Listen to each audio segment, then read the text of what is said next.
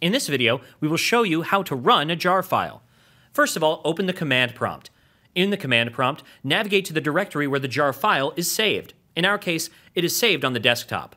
Once there, type the command java-jar runable underscore jar dot jar and hit the enter key.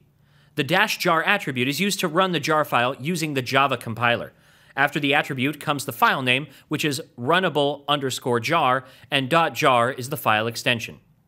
Once the command will be executed, the text present in the file will be displayed in the command prompt. For the purpose of this tutorial, hello world was the text present in the file that was part of the archive that we ran.